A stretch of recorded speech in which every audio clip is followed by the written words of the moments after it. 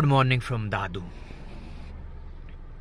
मैं इस वक्त दादू के बाहर खड़ा हूँ और यहाँ पे ये साइनेज लगी है N fifty five Indus highway पे, Karachi three twenty eight kilometres Kotri या कोटरी जिसको आप बोलते हैं वन एटी वन किलोमीटर और Sehwan Sharif forty five kilometres Dadu के व्लॉग में मैंने आपको बताया था कि यहाँ पे एक खुदाबाद मस्जिद है।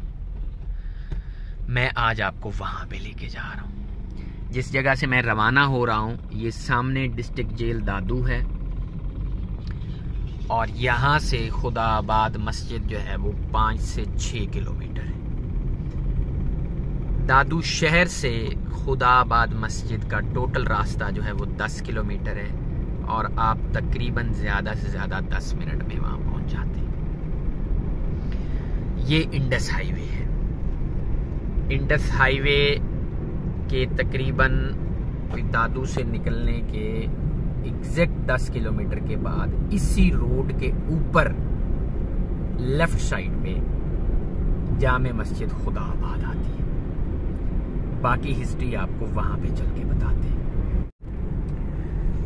ये इस वक्त अगर आप लेफ़्ट पे देखें तो आपको एक बोर्ड नज़र आ रहा है, खुदा आबाद लिखा हुआ है इसके ऊपर, ये ब्लू। ये खुदाबाद और वो सामने आपको मस्जिद के मीनार भी नज़र आने शुरू हो गए और उसका गुंबद भी नज़र आना शुरू हो गया तो ये वो खुदाबाद की तारीखी मस्जिद है। मैं यहाँ पे रुकूँगा, आपको इसके अंदर लेके जाऊँगा और इसको अंदर से दिखाऊँगा।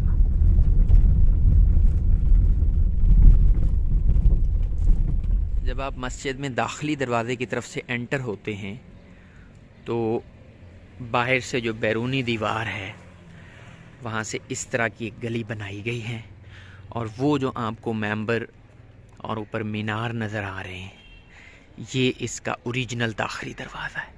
ये जो दीवार है, ये भी उस वक्त की है। ये बाहर वाली कंपाउंड वॉल जो है, ये बाद में बनाई गई है इसको प्रिजर्व करने के लिए। और ये जो है, ये दाखिली दरवाज़ा है। इसके आगे सामने एक छोटा सा पार्क बनाया गया है। मस्जिद को बाद में तोसी दी गई है। अब ये काम किसने करवाया है? जिसने भी करवाया है, को बहुत ही अच्छा करवाया ये यहाँ पे लगता है आर्कियोलॉजी डिपार्टमेंट ने ही कुछ काम करवाया है।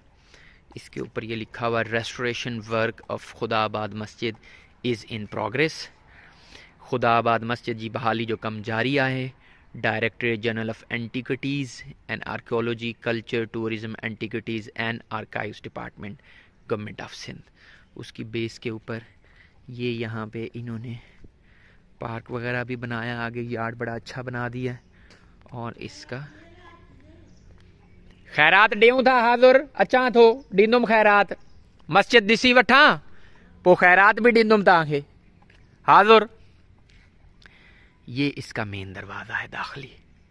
और ये उसी वक्त का है और उसी हालत में ओरिजिनल है। ये जो बाहर आपको टाइल्स नज़र आ रही हैं, ये डेफिनेटली बाद में लगाई गई हैं। इसकी जब बहाली का काम शुरू हुआ है तो उस वक्त मतलब इसको फोर्टिफाई किया गया है बाद में, ताकि ये आसार कदीमा जो हैं, ये अपनी असली हालत में किसी न किसी तरीके से इसको रखा जा सके। अंदर कुछ पुरानी नक्शो निगारी जो है, वो आपको नज़र आ रही होगी और कुछ को रीफर्बिश किया गया है, उसके ऊपर दोबारा कलम जो है वो चलाया गया है। इसके चढ़ने के लिए तकरीबन कोई आठ से दस सीढ़ियाँ हैं चबूतरे पे, और उसके बाद ये आपको एक नई पेंटिंग है और एक पुरानी है। ये पुरानी जो है, ये एज़ इट इज़ जिस हालत में थी, उसी हालत में खड़ी हुई है, और ये नई जो है, ये फिर उसको रीपेंट किया गया है।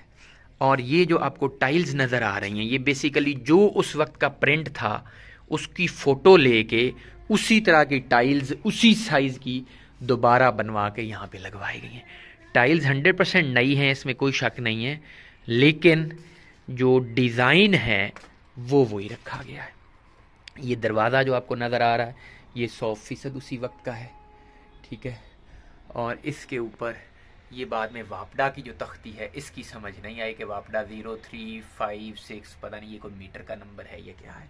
ये बाद में वापडा वाले लिख के लगा गए। और ये है खुदा आबाद का मस्जिद का मंजर। इसकी जो रेस्टोरेशन का वर्क है, जो प्रिजर्वेशन का वर्क है, उसको देख के तो वाकई सिंध आर्कियोलॉजी डिपार्टमेंट जो है, वो मुबारकबाद देने को उसको दिल करता है। कि बड़े अच्छे तरीके से इसको प्रिजर्व किया है। इसकी जो ओरिजिनलिटी थी, उसको भी बरकरार रखने की कोशिश की गई है। और अगर कहीं पे रीपेंट किया गया है या रीटाइल्ड किया गया है इसको तो उसमें कोशिश की गई है कि जो ओरिजिनल उसका थीम था, उसको बरकरार रखा जाए। ये जो नीचे वाली फर्श की टाइल्स हैं, ये बिल्कुल ओरिजिनल हैं, उसी टाइम की हैं जैनवन हैं।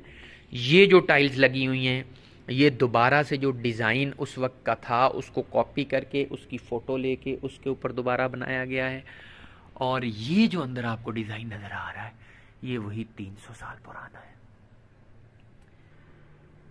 ये इसी तरह से चबूतरे हैं और ये ऊपर वाली जगह जहाँ पे काशीकारी नक्शो निगारी का काम है। ये बिल्कुल मेहराब की जगह है आगे अंदर। आपको सामने नज़र आ रही ये मेहराब उसी तरह से जिस हालत में था, उसी हालत में है, सिर्फ़ नीचे टाइल लगाई गई है। अल्लाह अकबर, अल्लाह। ये देखें आप।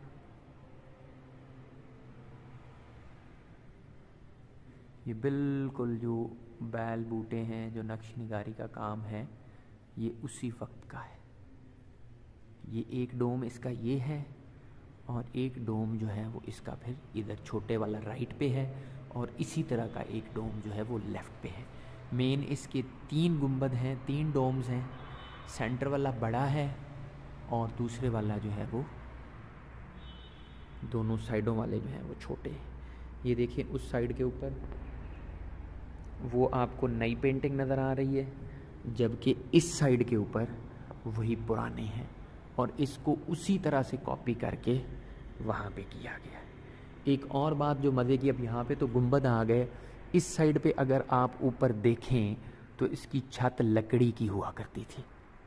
ठीक है? लकड़ी के इसमें तख्ते थे। तो वो तख्ते तो अब उस तरह से नहीं रहे तो उनको निकाल के टी आर गार्डर उसमें लगाए गए हैं। लेकिन कोशिश यही की गई है कि इसकी वही शेप रखी जाए, जो उस वक्त लकड़ी के तख्तों की हुआ करती थी। ये मस्जिद अगर आप आज भी आएँ तो उस वक्त के कलहोड़ो ख़ानदान की यादगार है, जिन्होंने एक वक्त में सिंध के अवाम की भी खिदमत की और अपनी इस्लाम की खिदमत की ये यादगार इस कायनात में छोड़ गए। ये अगर आप इन टाइल्स को देखें तो आपको इनमें एक हसीन सिमिट्री नज़र आएगी कि उस वक्त के लोगों ने किस तरह से एक ही पैटर्न को लेके चले। और ये फिर यहाँ पे इसका मेहराब का मंजर। अल्लाह अल्लाह